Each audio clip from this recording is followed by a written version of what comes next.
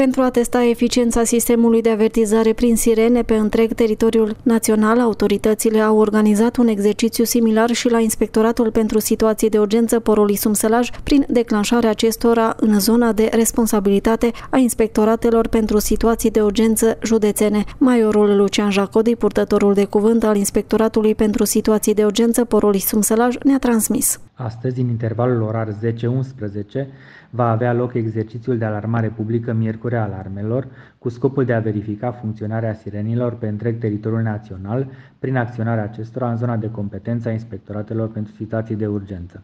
Astfel, sirenele din țară vor emite semnalul alarmă la dezastre, care presupune iminența producerii unor calamități cu impact major asupra comunităților.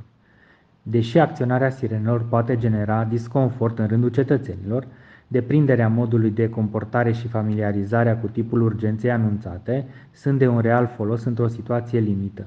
Recomandăm cetățenilor să rămână calmi și să urmărească informările Inspectoratului pentru Situații de Urgență Porolisum al județului Sălaj.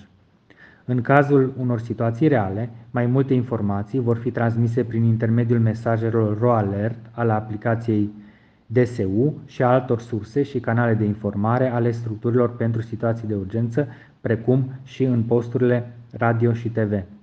Înștiințarea, avertizarea, prealarmarea și alarmarea se realizează în scopul dispunerii măsurilor de protecție a populației și bunurilor materiale, precum și pentru limitarea efectelor dezastrelor.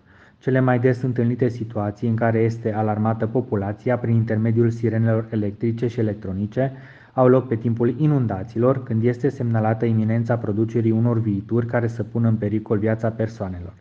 De asemenea, sistemul de înștiințare alarmare este utilizat în cazul producerii unor accidente tehnologice în care sunt implicate substanțe periculoase, ruperii unor baraje hidrotehnice sau căderii obiectelor în atmosferă.